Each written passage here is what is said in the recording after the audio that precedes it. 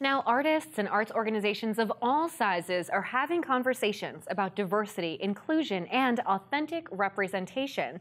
A small regional theater company in Boulder is taking action with their world premiere of a play called Paper Cut. It's about a soldier returning from war, only to find he's got to confront a battlefield right here at home. Arts District reporter Eden Lane shows us how they are including authentic voices in their work. If you make a backstage visit during Tech Week of a world premiere production, you can expect to find the lead actor reviewing script changes and the crew diligently transforming the space. But with a closer look, you discover how much work went into telling this soldier's story authentically, beginning with the playwright, Andrew Rosendorf. I just was like surfing the internet and trying to figure out what I should be doing. And then I stumbled across this series of Huffington Post articles that David Wood reported on.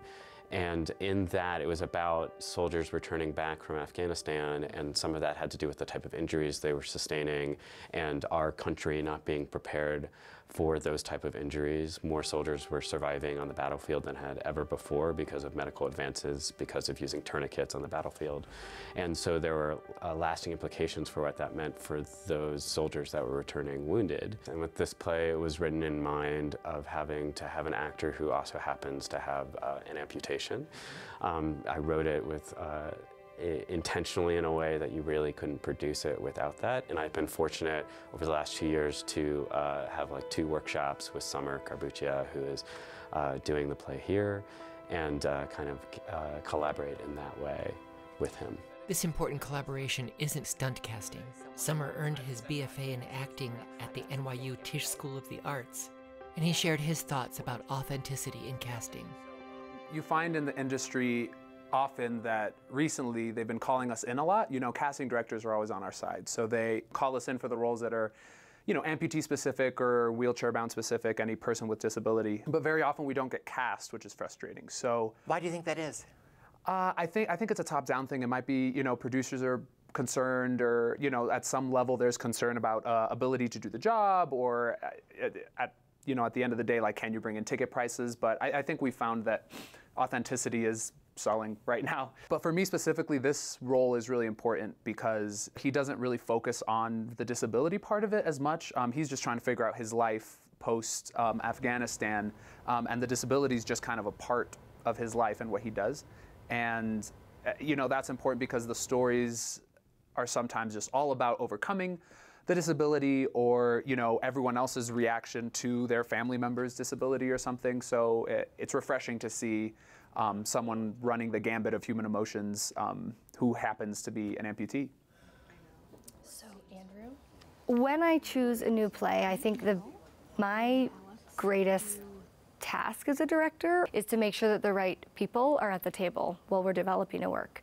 So in this case, we asked Andrew who he needed to be at the table to tell the story, and it was a, an acting pool that represented accurately who was represented in the play, but it was also a dramaturg, making sure that he had veterans in the rehearsal process that were engaged with us and checking authenticity of things like costumes and language. Summer considers himself an actor with a disability, and to be sure they were portraying military life authentically, the production team consulted several veterans, including Rex Laceby. I was in the Marines from 92 till 2013 and I'd been in Afghanistan a majority of 2012, which took place right after you know when this play, uh, play had been portrayed. I you know had wanted to make sure that the play was non anti-military. And yeah, I didn't mind it if it was anti-war. I just didn't want to be anti you know USA or anti-military.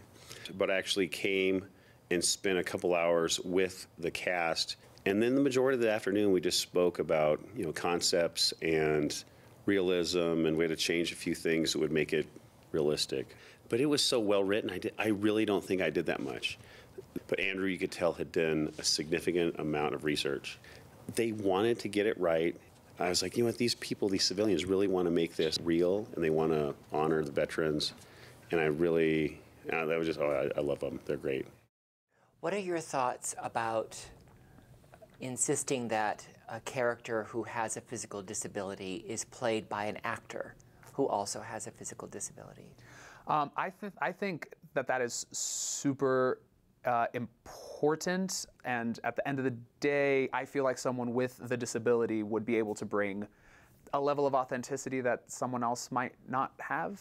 Um, you know, they don't know what it's like to lose a limb. They don't know what it's like to, in this show, go through phantom pain. You know, those are very specific things um, that have to do with um, certain disabilities. So, you know, calling us in more is, is important, but also being able to, to cast those people, um, I think, as well. We're moving in the right direction, right? I feel like we're going for more authentic, uh, authentic casting now. And, you know, that doesn't mean exclude anyone else as well, but, you know, there are a wide range of actors, a wide range of performers and artists.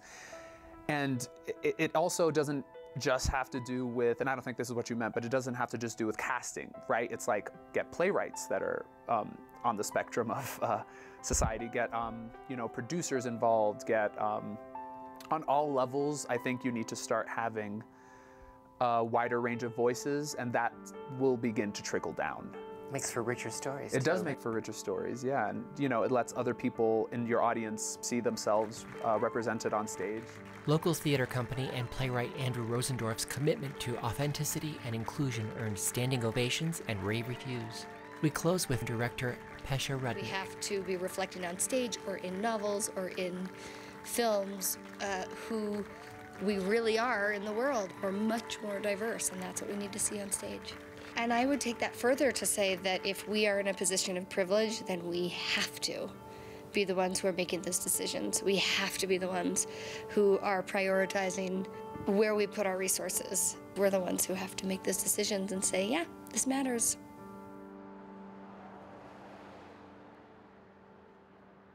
There's more information about upcoming projects at localtheaterco.org, plus more from the playwright at andrewrosendorf.com.